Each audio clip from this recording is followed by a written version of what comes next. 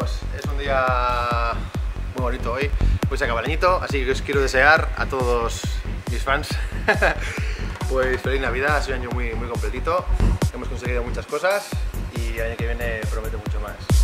Y estos serán de los últimos vídeos que hacemos con Thunder V2, dentro de poco os enseñaremos la 3, así que hay que dar al lío.